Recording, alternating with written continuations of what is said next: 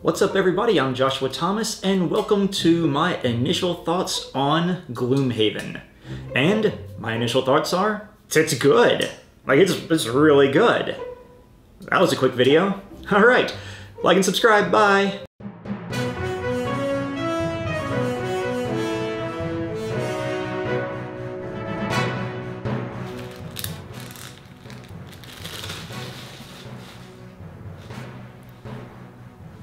You're still here.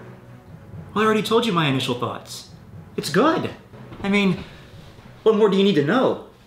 I, I mean, I, I could take more time and talk about the quality of the components, you know, the cards and the figures, the tiles. Uh, I could talk about the way the game plays, the way the battle system works, the enemy movement, their, their, you know, the boss cards and and what dictates the way that they attack and target characters.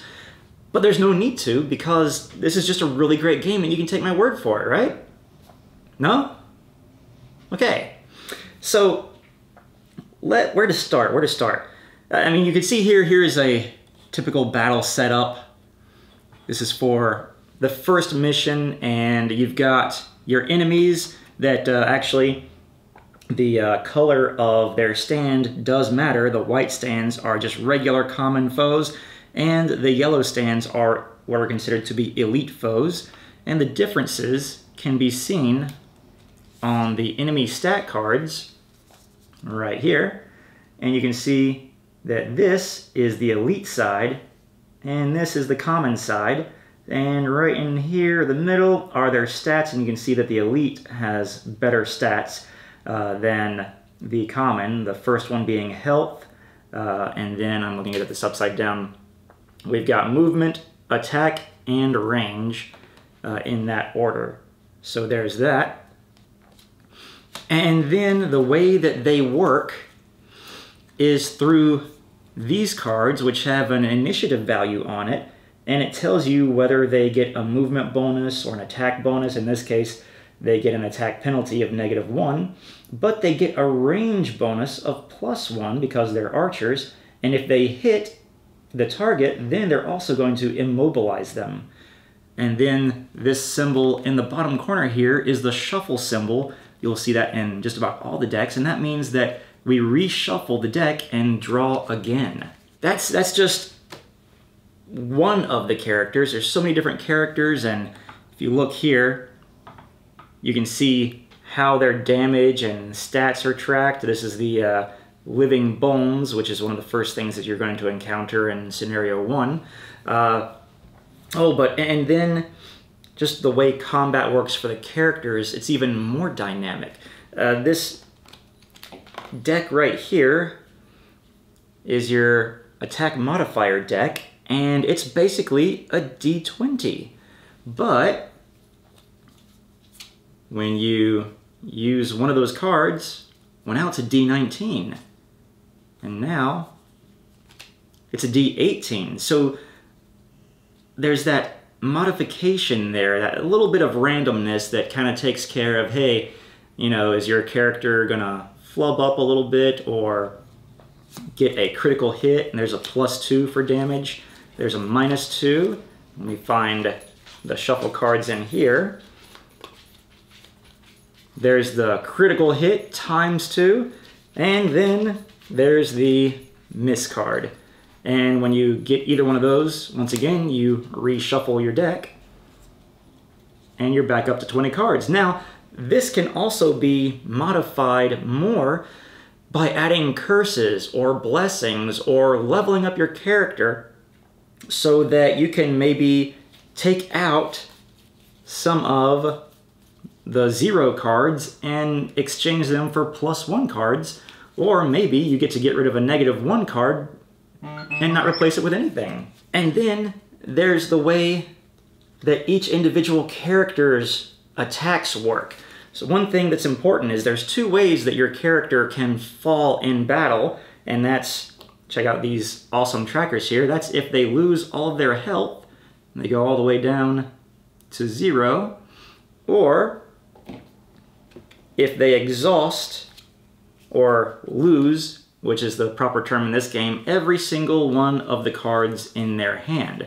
Now, in order to get these cards back, they take short rests, but if they use their really powerful abilities, such as this one down here, it's going to have that X symbol at the bottom, and that means that they lose that ability for the rest of the scenario. Basically, it's, it's them kind of limiting how the powerful abilities work and allowing you to use some of the less powerful abilities. So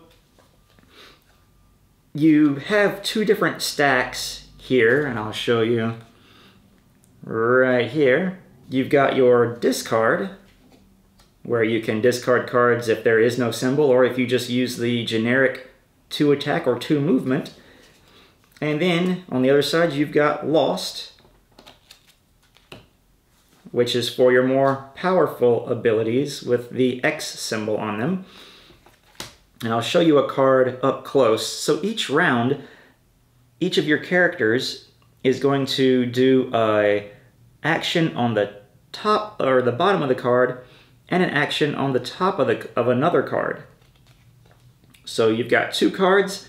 Let's say I'm going to use this ranged attack for my Scoundrel because, hey, she specializes in some ranged attacks.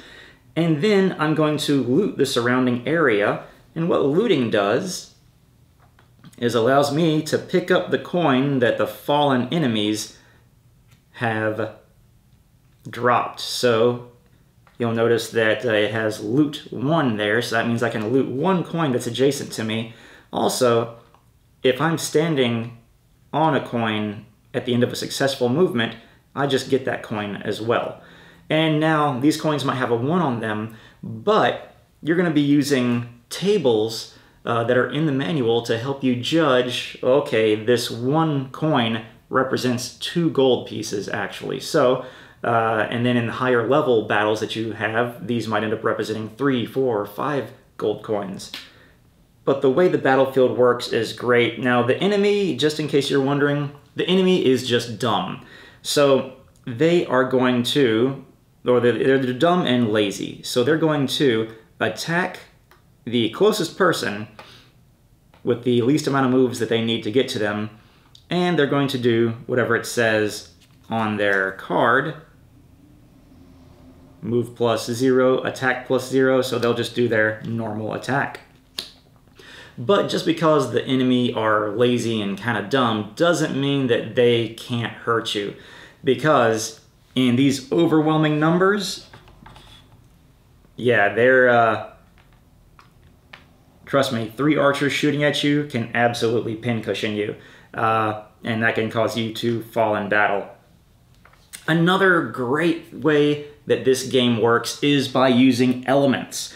And I like it not just because it's got this elemental chart in there, but because you don't have to use magic to infuse a room with elements. Um, my scoundrel has the ability to use a smoke bomb, which is going to infuse the room with darkness. So a smoke bomb fills the room with smoke and therefore darkness, and as time goes by, as the turns goes by, that smoke is going to wane and the darkness in the room is going to wane as well. But as long as it's in one of these two spaces, I can then use an ability that uses darkness with the X over it, and it's going to give me bonuses. Uh, that's just an example of the rogue's ability. And when uh, we use an element, it becomes exhausted or inert.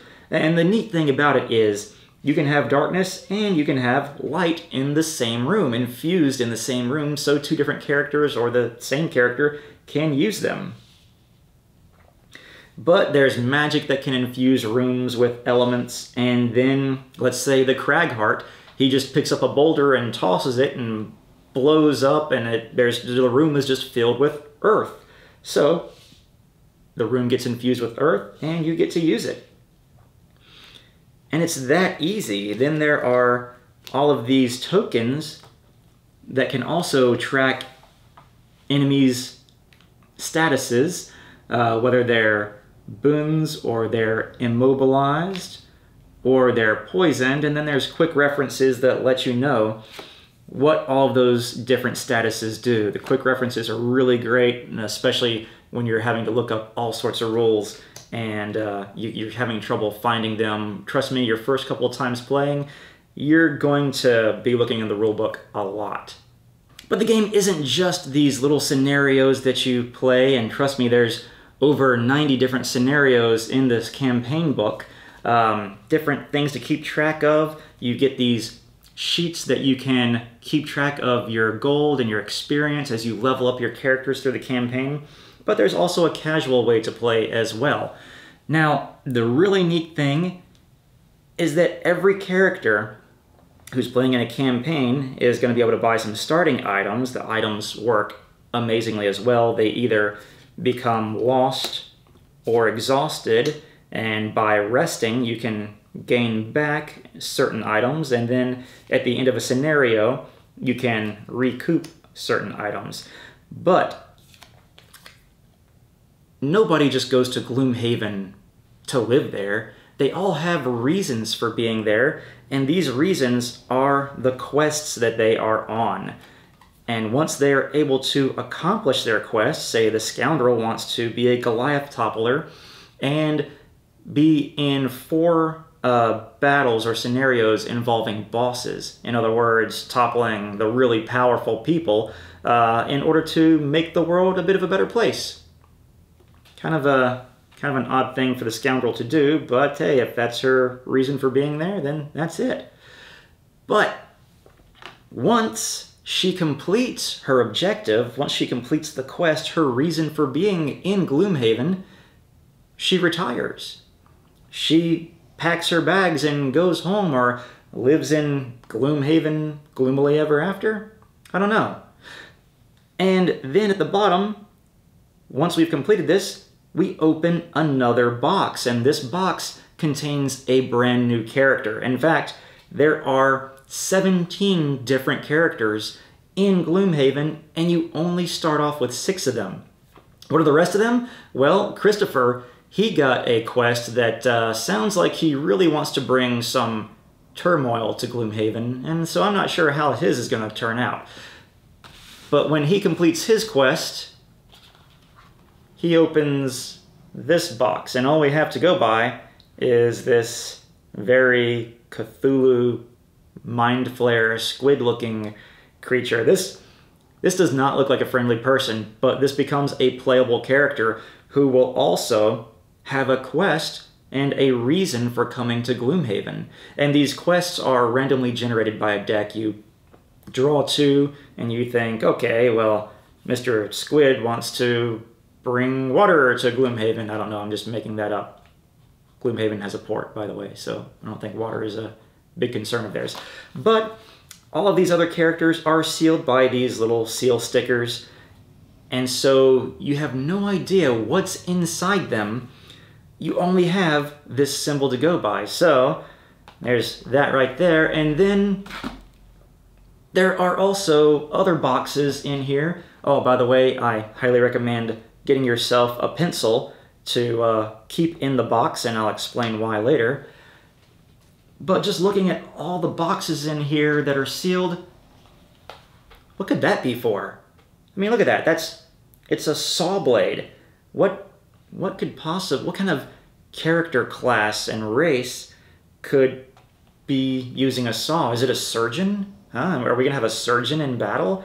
Or are we just to have some kind of bloody dismemberment, saw kind of guy? I don't know, but it's intriguing. There are also other sealed envelopes that you'll find in the box, and it'll tell you when to open them in certain scenarios. But these scenarios that you go into,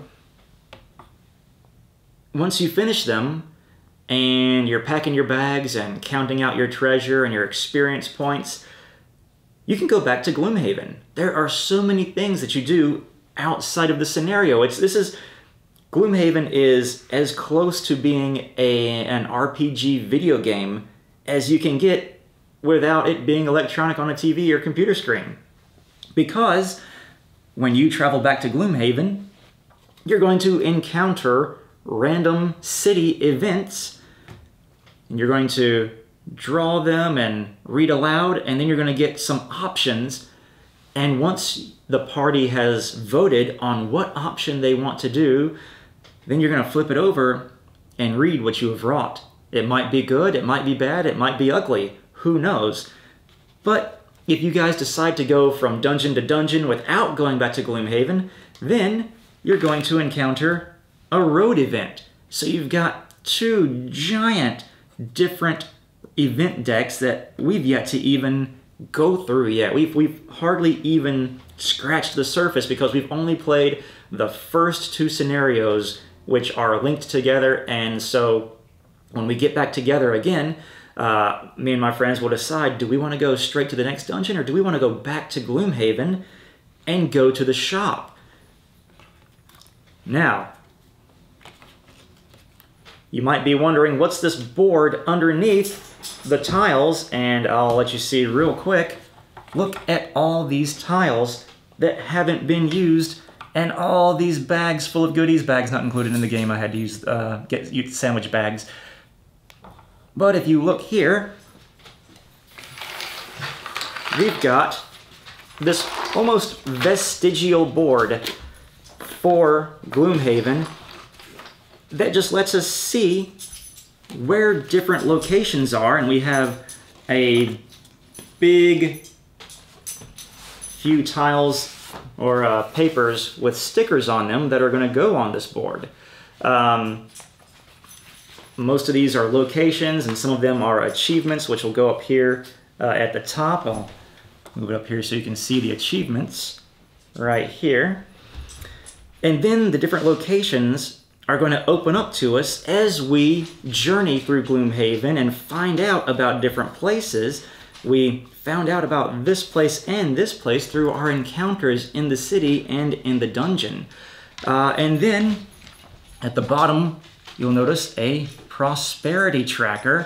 And we've put an X in there because in defeating these bad bandits, we have made Gloomhaven a safer place.